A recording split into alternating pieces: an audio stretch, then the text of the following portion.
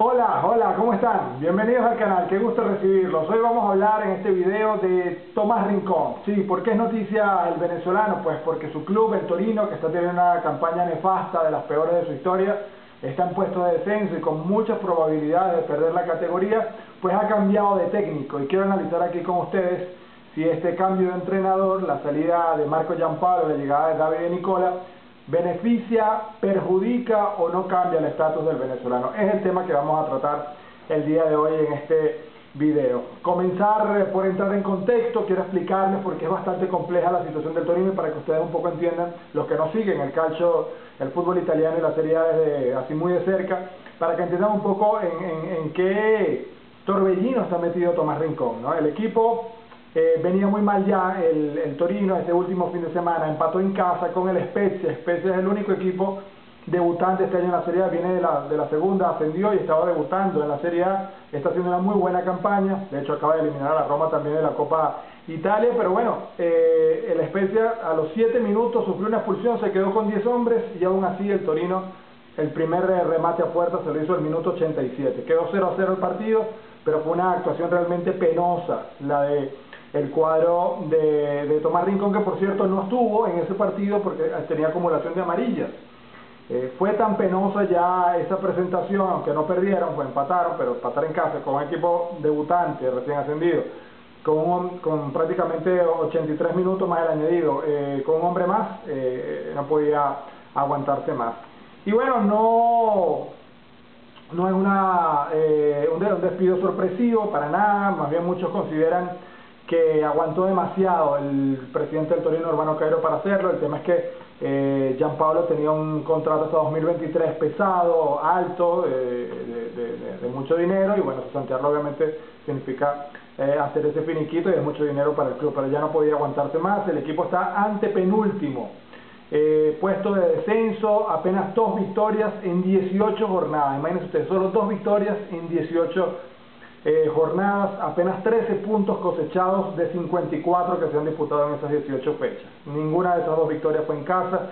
Son números para un equipo grande en Italia como el Torino realmente malos. Y más tomando en cuenta que Marco Giampaolo está considerado como un, gran maestro del fútbol. De hecho, él asume, algunos consideran con un poco de prepotencia esa, eh, esa figura de, un hombre que, está que viene a enseñar de fútbol allá donde vaya. Eh, y, bueno, con, con, un verbo muy filosófico que creo que al final terminó, terminó chocando con, con la filosofía del club. Se supone que él iba a abrir un ciclo, borrar la temporada pasada del Torino, que ya de por sí fue muy mala y estuvo a punto de descender, y al final no termina ni siquiera completando eh, pues la primera vuelta. Ese verbo filosófico choca con la historia del Torino, como les digo, un equipo acostumbrado a la garra, como es ese animal que lo representa, a la entrega, a la grinta, como llaman en Italia, esa, esa, fuerza que se imprime, ese extra de, sudar la camiseta y de darlo todo por la, por la entidad. Y cuando el equipo, que ya estaba urgido, necesitaba salir, eh, como se usa aquella frase de César Farías, con el cuchillo entre los dientes, a matar o morir, todo lo contrario, el, el, verbo era de filosofía, no, no, chocaba y de verdad que el equipo nunca se le vio esa garra que, que tanto se, se esperara. Eh, comenzaron obviamente a surgir las opciones, quién puede sustituir a Marco Giampaolo, ¿no? Ya sabemos quién es, pero en ese momento comenzaban como siempre con estas situaciones a, salir nombres. El primero, muchos se sorprenderán, el primer nombre que aparece es el de Giampiero Ventura, ¿sí? Giampiero Ventura. ¿Recuerdan ustedes Italia fuera del Mundial de Rusia 2018 en el repechaje con Suecia? ¿sí? ¿Quién era el técnico de la Zurra? Era Giampiero Ventura, el que hizo el milagro de dejar fuera del Mundial a, a la selección italiana. Quedó muy mal su imagen, muy trastocada con esa, con esa eliminación de Italia histórica, pero en el Torino hizo un, grandísimo trabajo y es el técnico eh, más longevo por cierta edad, pero sobre todo más ganador de los últimos 25 años en el club. Y en el club pues le tienen estima y recuerdan esa, ese periodo. Por eso sonaba Aventura, que ahora mismo el año pasado dirigió a la Salernitana en Serie B, este año está sin equipo. Sonó también Moreno Longo, eh, terminó la temporada pasada, sigue con contrato en el club, siguen pagando, aunque lo habían cesanteado para que llegara al Gianpaolo y podían traerlo, pero a la final no, no lo tomaron, pero tenía mucha posibilidad de volver Moreno Longo Roberto Donadoni, otro técnico eh, de prestigio en Italia que se desvinculó, estaba en el fútbol chino, en la liga china, está sin equipo ahora, también había sonado. E incluso Leonardo Semplice, Leonardo Semplice eh, dirigió al Spal, lo, lo, llegó a ascender a primera y lo dirigió el año pasado que terminó descendiendo. Eh, él coincidió en el Spal, Semplice, con el director deportivo actual del Torino, Daniele Bagnati, coincidieron, se conocen y era una opción que él veía bien porque también estaba desvinculado, pero ninguno de ellos. Al final, Davide Nicola fue jugador del Torino en la década de los 90, el principio de 2000. Eh, el primer año que Urbano Cairo, el actual presidente del Torino, llegó, el primer año que él tomó el equipo, eh, ellos lograron ascender de Serie B a Serie A en un playoff que recuerdan mucho los fanáticos del Torino contra el Mantova.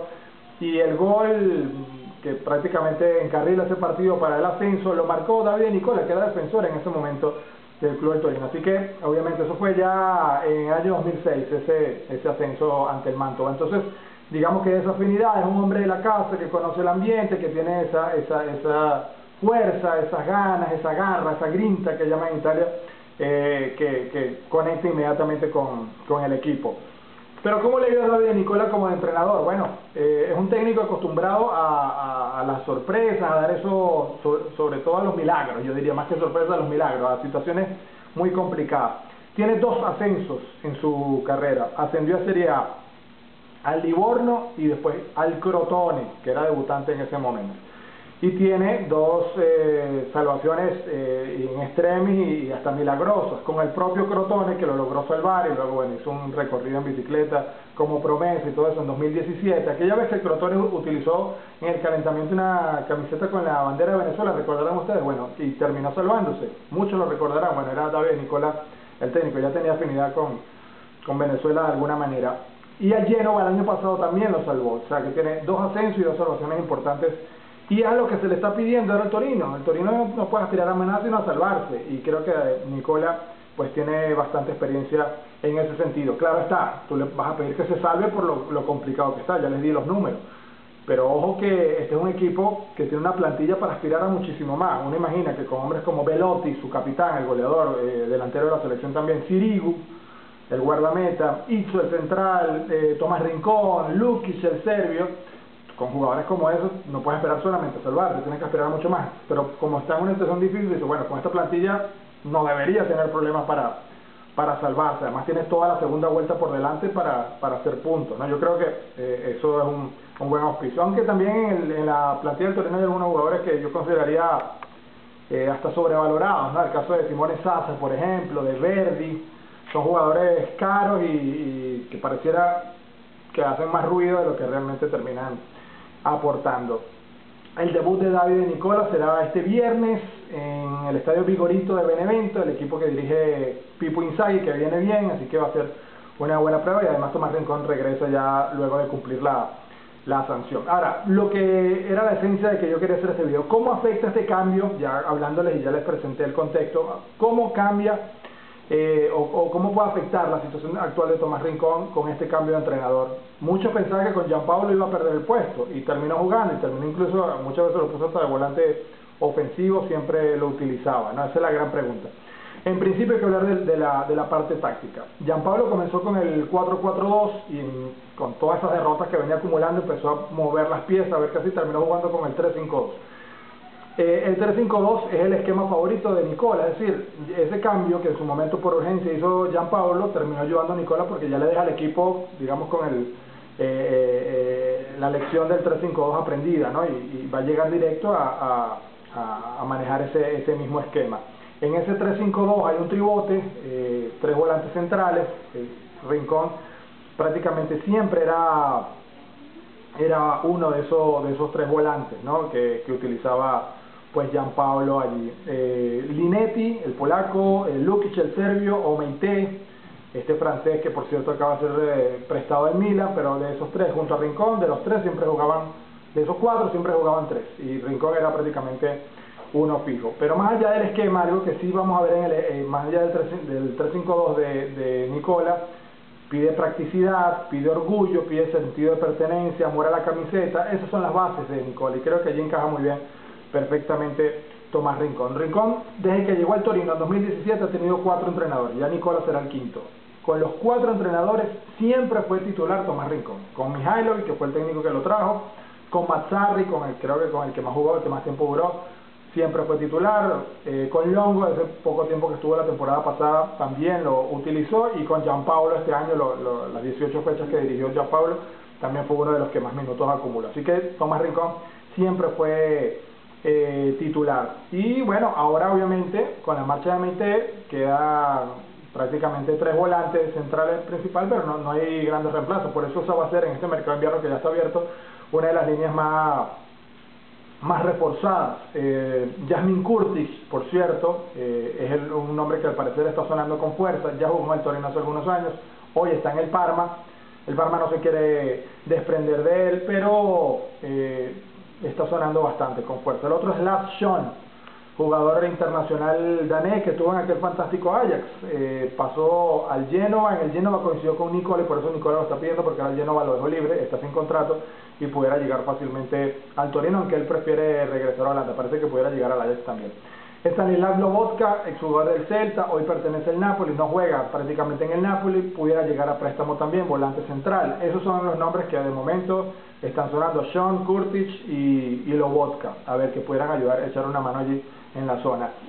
También están buscando reforzar otras posiciones, como el paraguayo Sanabria para el ataque, que ya lo, lo tuvo Nicola también en el Genoa. Joao Pedro, un jugador que a mí me gusta muchísimo, el brasileño del, del Cagliari. Y de Fred también, una segunda punta del Sassuolo, estuvo en la Roma, que es un muy buen jugador. Son algunos de los refuerzos que suenan para, para el Torino. En conclusión, en conclusión, ¿Cómo queda Tomás Rincón con el cambio de técnico en el Toro? Bueno, lo primero que hay que decir, lo repito, siempre ha sido regular, siempre ha rendido, mantiene una línea eh, muy pareja siempre. Yo creo que con Nicola no va a cambiar, como no cambió con los cuatro técnicos anteriores, creo que con Nicola va a seguir teniendo su oportunidad y sobre todo, sobre todo porque Nicola gusta del tipo de jugador de como Tomás Rincón, no solamente en lo futbolístico, sino en la entrega, en la garra, en la fuerza, en esa, en esa esa manera agonística de siempre de vivir cada minuto del partido, de ir a disputar cada pelota, eso que es lo que le va a pedir a la mayoría de los jugadores que parecen un poco desanimados, a Rincón no tiene ni que pedírselo porque es el estilo de juego, esa garra, esa manera de sudar la camiseta que Tomás Rincón eh, siempre demuestra, con mucha entrega. Seguramente el mercado va a traer otros volantes, va a alimentar la competencia, pero yo estoy seguro que eh, Tomás Rincón va a seguir siendo protagonista en este Torino. Esa es mi opinión, aquí se las dejo, quiero leerla de ustedes también, cómo ven esta nueva situación del Torino, si se va a salvar, si creen que es una buena opción la llegada de David y Nicola. Todo eso lo vamos también a, a debatir un poco y a comentar, a intercambiar opiniones en los comentarios. Esa es la invitación que les hago, que comenten, que compartan, que se suscriban si no lo han hecho, que le den like al video si les ha gustado y bueno, que nos reencontremos acá con más temas de fútbol como siempre en un nuevo video. Hasta la próxima, chao.